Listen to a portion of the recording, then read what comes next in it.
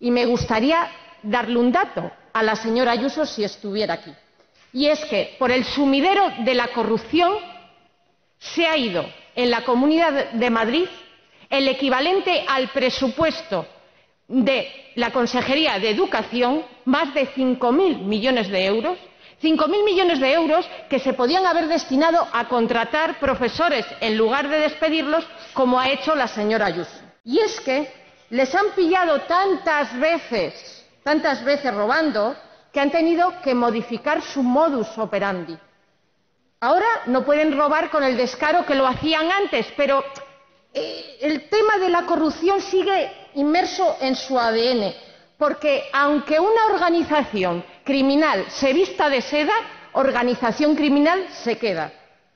Y este domingo lo hemos visto en el congreso que tenían ustedes en Valencia, un congreso que más que congreso político parecía un desfile de una rueda de reconocimiento de la. Mientras todo el mundo sufría las consecuencias de esta pandemia, de esta crisis económica, ustedes vieron en esta crisis una oportunidad, una oportunidad de refinar su modus operandi, de inaugurar un nuevo modelo de corrupción. Un modelo muy sencillo, para que nos entienda todo el mundo.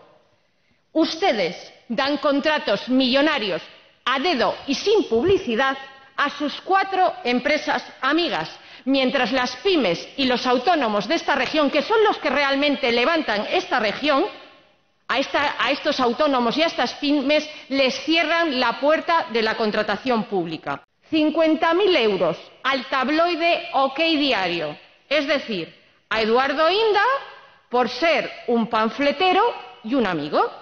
Diez contratos en seis meses a la empresa Artesolar, propiedad del señor Tomás Díaz Ayuso, por ser hermano y amigo.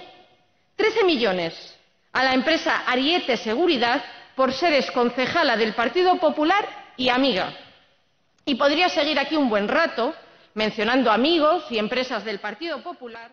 Después de lo visto en los Pandora Papers y su amigo Vargas Llosa, no nos extrañaría que terminásemos aquí la legislatura con los Ayuso Papers.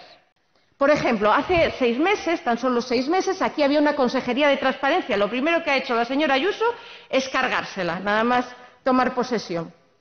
Cuando hablamos de transparencia, Ayuso desaparece. De hecho, no está ni aquí.